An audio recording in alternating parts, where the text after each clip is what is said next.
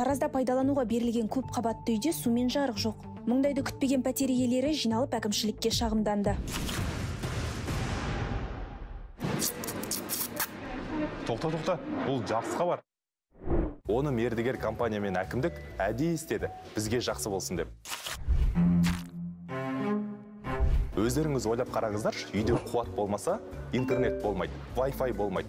Барлығы дастархан басында бір бірімен әңгімелеседі. Бұл отбасының ішіндегі ұйымшылдықты нығайтады. Және телефон көзге зиян ғой сосын үнем. Пәтер үшін ешқандай ақы төлемейсің. Ай сайын есеп шоттар келіп басыңды ауыртпайды. Жақсы емес пе?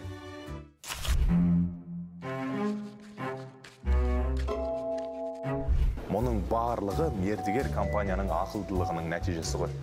Сол жердегі алпыс пәтердің иесі бірігіп сырттан дәретхана қазған ғой. Міне ұйымшылдықтың көркем үлгісі деген осы шығар.